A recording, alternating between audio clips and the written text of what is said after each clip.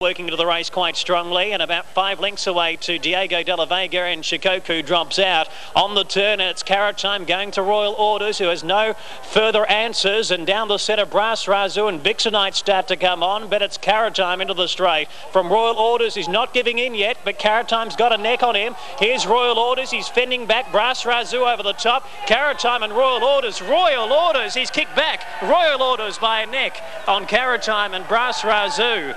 Back in fourth was Diego de la Vega. Vixenite travelled into the race but didn't finish off. And Shikoku has clocked in last.